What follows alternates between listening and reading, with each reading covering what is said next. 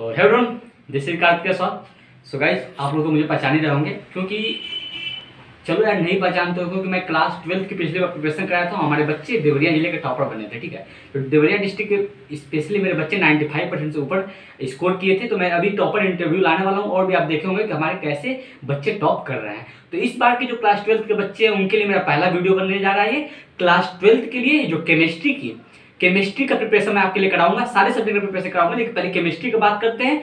और देखो, मैं पीसीएम भी चारों पढ़ाता हूँ, और देखो जो क्लास ट्वेल्थ वाले बच्चे हो, ठीक है, विश्वास नहीं होता है तो अभी तुम टॉपर इंटरव्यू देख लेना, हमारे स्टूडेंट हमारे बारे में क्या बोलेंगे उससे देख लेना, ठीक है, मैं अपने मुझसे अपनी तारीफ़ नहीं करूँगा, ठीक है। तो देखो, इस वीडियो में बात करने वाले हैं कि आपका जो क्लास ट्वेल्थ का केमिस्ट्री उसमें कैसे तुम 95 प्लस मार्क्स ला सकते हो, ठीक है 100 भी लाओगे हमारे स्टूडेंट लाए हंड्रेड भी लाए हैं, लेकिन 95 प्लस लेके चल रहे हैं कि जो हमारे कमज़ोर बच्चे हैं, वो भी 95 प्लस क्रॉस कर सके, ठीक है?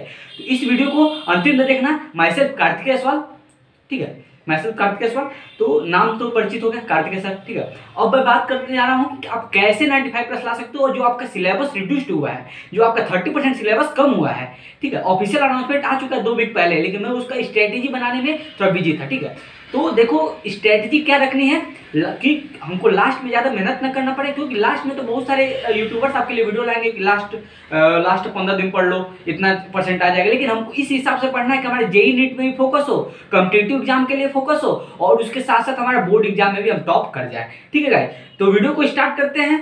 ठीक है? तो वीडियो को स्टार्ट करते हैं। चैनल को सब्सक्राइब कर देंगे, क्योंकि और भी अच्छे अच्छे लाते रहूँगा आपके लिए वीडियोज़ और कोई भी दिक्कत हो तो कार्तिक सर के एक बार इनबॉक्स में मैसेज कर देना एक बार कमेंट में ठीक है? चलो गाइज़ वीडियो को स्टार्ट करते हैं। तो सबसे पहले केमिस्ट्री ठीक है? सो गाइज़ स्टार्ट करते हैं आपके केमिस्ट्री के फ़र्स्ट चैप्टर से ठीक है? ध्यान से सुनिएगा बात को कि जो चैप्टर रिड्यूस्ड हुए जो पोर्शन आपके हट गए हैं उसको नहीं पढ़ना है और कैसे पढ़ना है जो टॉपिक्स आपके रह गए हैं उस पर बात करने वाले हैं। तो देखो पह, पहला चैप्टर से बात स्टार्ट करते हैं सॉलिड स्टेट सॉलिड स्टेट देखो यार 2018 में जब जब मैं एग्ज़ाम दिया था, ठीक है? जब मैं एग्ज़ाम दिया था, उस समय तो सॉलिड स्टेट नहीं था। लेकिन उसके बाद जो मेरे बच्चे पिछले साल एग्ज़ाम दिया है, वो क्या था? मेरे स्टूडेंट उसमें क्या था कि उनका सॉलिड स्टेट तब से आपका जुड़ गया। सॉलिड स्टेट में देखो यार, बहुत सारी टॉपिक्स रिड्यूस हो गए हैं। तो आपको साइड में दिख रहा होगा, वो टॉपिक क्या करना है आप लोग को? कि वो टॉपिक भूल के भी नहीं पढ़ना पहले क्या क्या करना है? एनसीईआरटी के बुक में उस टॉपिक में क्या कर देना है? रेड पे लेना है, उठाना है कट मार देना है, ठीक है? कि वो आपको टॉपिक याद है भाई ये टॉपिक हमको नहीं पढ़ना है, ठीक है?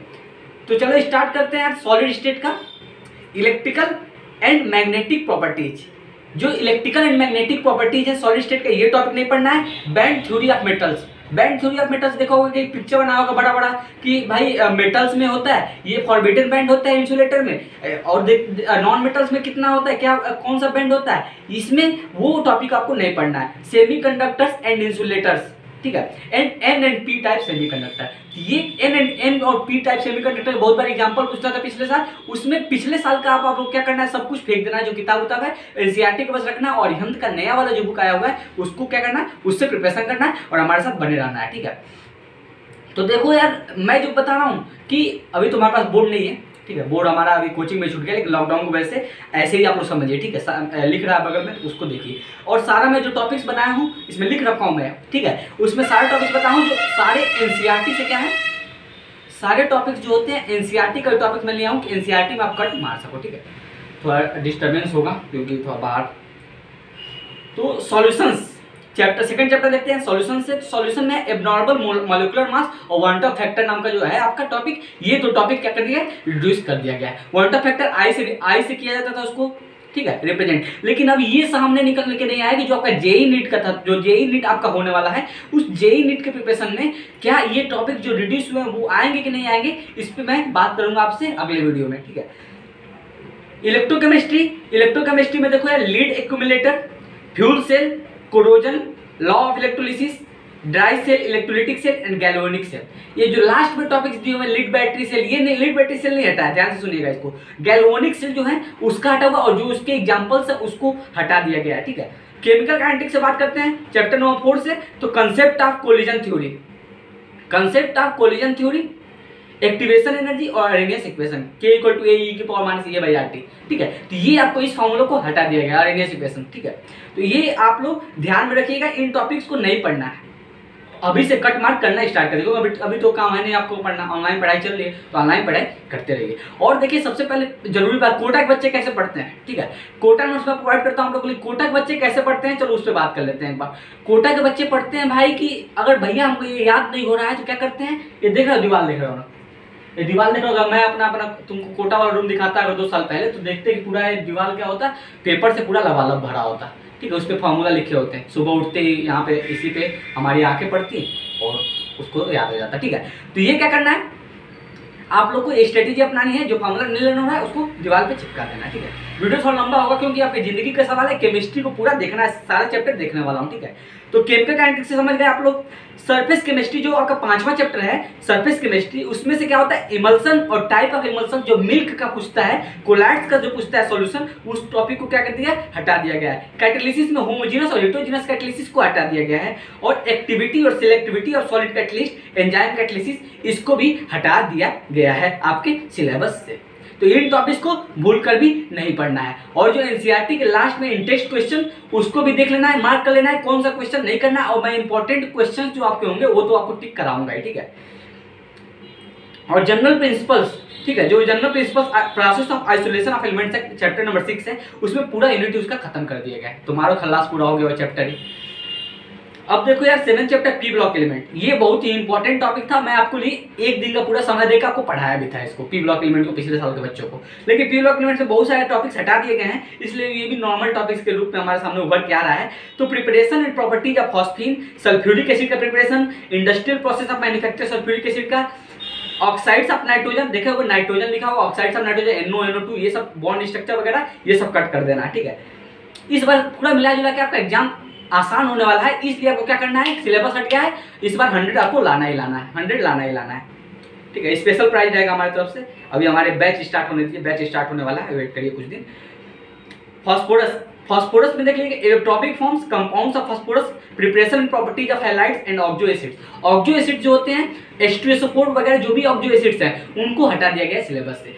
लेकिन थोड़ा सा बात कर लेते हैं, हट के थोड़ा सा कि जो लास्ट में जो आपके चैप्टर्स दिए हुए हैं पार्ट टू वन और पार्ट टू एनसीईआरटी के बुक के होते हैं, ठीक है? पार्ट वन में तो डी ब्लॉक और का पार्ट बचा हुआ है, लेकिन पहले पार्ट टू में देख लेते हैं कि जो लास्ट का आपका दो चैप्टर्स है पॉलीमर्स और केमिस्ट्री इन एवरीडे लाइफ जिससे लगातार एक एक नंबर क्वेश्चन पूछे जाते थे, लेकिन जो आसान चैप्टर थे, उन दोनों चैप्टर को क्या कर दिया गया? हटा दिया गया है। तो उन दोनों चैप्टर को हटा दीजिए आप भी अपने दिमाग से, ठीक है? तो पॉलीमर्स केमिस्ट्री एवरीडे लाइफ अपना मेहनत बर्बाद करने की ज़रूरत नहीं है पॉलीमर्स और केमिस्ट्री पूरा पूरा पूरा चैप्टर हटा दिया गया तो पंद्रहवा और सोलहवा चैप्टर आपका क्या हो गया? फिनिश हो गया, ठीक है?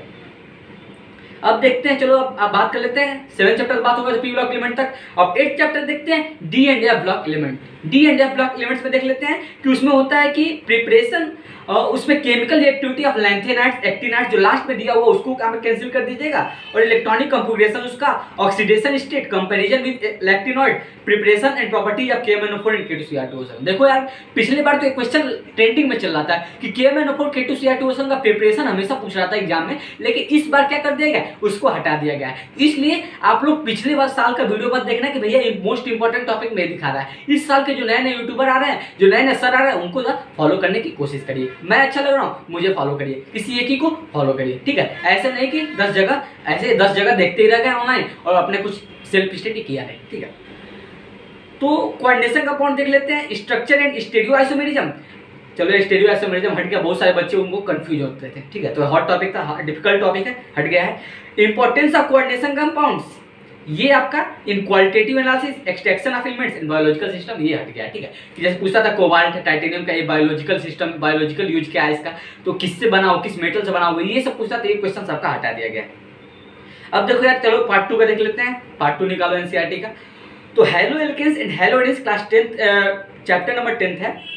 तो उसमें देखो uses and environmental effect of dichloro dichloromethane trichloromethane tetrachloromethane iodoform freedom freons DDT याद आ रहा है हमको कि एनसीईआरटी का जो लास्ट का चैप्टर होगा देखो जब एक्सरसाइज का क्वेश्चन आपका स्टार्ट होगा उससे पहले का जो दो, दो पेज है उसमें सब डीडीटी का दिया हुआ है फ्रियोन्स आयोडोफॉर्म और टेट्राक्लोरोमिथेन सबका क्या हुआ यूज़ एंड एनवायरमेंटल इफ़ेक्ट दिया हुआ इसको पूरा हटा दिया गया तो उसके बीच में क्वेश्चन बन के नहीं है पहले आता था डीडीटी का स्ट्रक्चर बताइए डीटी का फुल फॉर्म बताइए ये सब पहले क्वेश्चन बन के आता था इस समय नहीं आएगा। अब देखो यार चैप्टर नंबर इलेवेंथ है अल्कोहल्स फिनॉल्स एंड इथर्स तो उसमें है कि मिथेनॉल और इथेनॉल को हटा दिया गया है। ठीक है?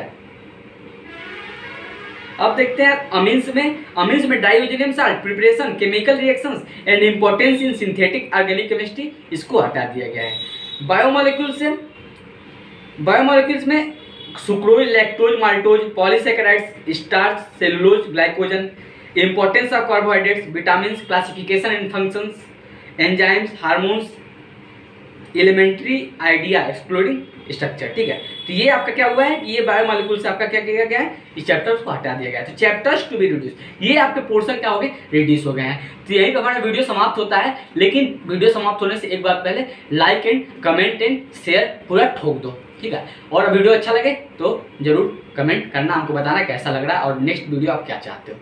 क्लास ट्वेल्थ के लिए मैं अपना पूरा कोशिश करूँगा कि अच्छे से अच्छे वीडियो आपके लिए ला सकूँ तो मिलते हैं नेक्स्ट वीडियो में। Bye guys